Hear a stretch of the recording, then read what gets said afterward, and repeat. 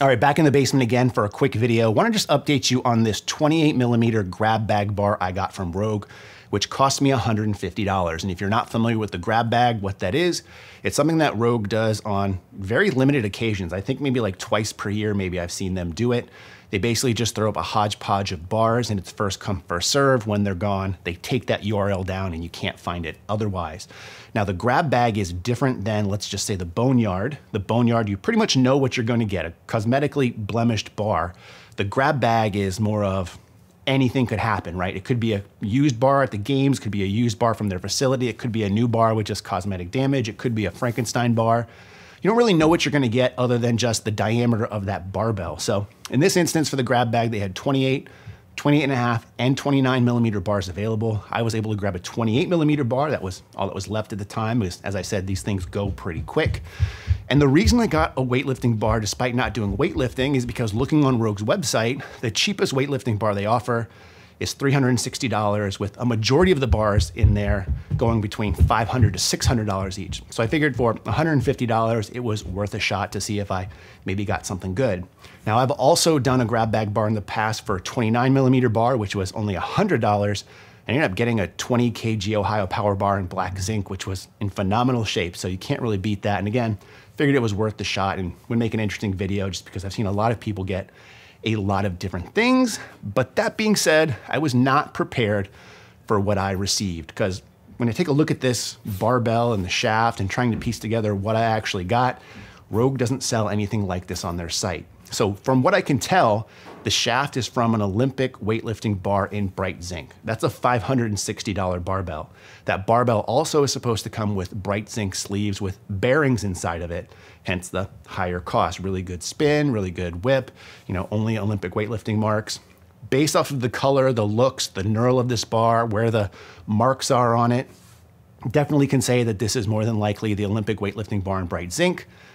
The sleeves, while also looking like they're in bright zinc, however, were really perplexing to me because again, this is supposed to come with bearings and a certain thickness of collar. And what I ended up getting were Rogue Ohio Power Bar 20 kg sleeves on it. At least that's what I assumed because I've never seen these sleeves on anything but an Ohio Power Bar 20 kg from Rogue. They're very similar to what you'll find on the Eleiko powerlifting bars or any other competition style bar, super thin collars. And I've never seen that, like I said, on any other Rogue barbells, especially a 28 millimeter one, because to my knowledge, they're only made for 29 millimeter, 20 kg Ohio power bars, which maybe be an interesting video to see if I can fit some different collars on different thicknesses of bars and see if it really does make a difference or not.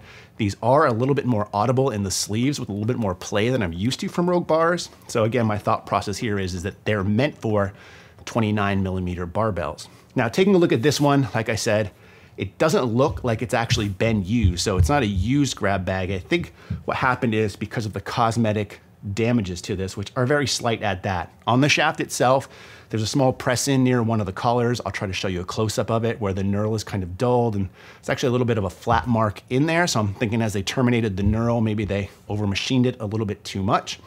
And more than likely what happened was they were in the process of building this bar and said, hey, this shaft is ruined. There's no point in putting those nice high expensive sleeves with the bearings in it. Let's just throw this on the scrap heap and we'll find a use for it later. And the same can kind of be true of the collars and sleeves on here because if you take a look at the inside of each collar, there's a little bit of a marking on each one. I'm not sure what it's supposed to be. It's not a letter necessarily. It just looks like it was machined the wrong way. Something got dinged here or there. And probably same thing. They said, we can't use these sleeves on a bar. Let's just throw it in the scrap heap and we'll find a use for it later. And here comes along the Rogue grab bag where they said, hey, we have this shaft, it's okay, but we need some sleeves for it. Let's just throw something on it. And I think that's what they did. So very interesting Frankenstein type bar because like I said, the shaft with the normal collars it's supposed to have would retail for like $560. And even the 20 kg Ohio power bar starts at I think around like 350 or 360 for even just like the basic version, let alone the stainless steel.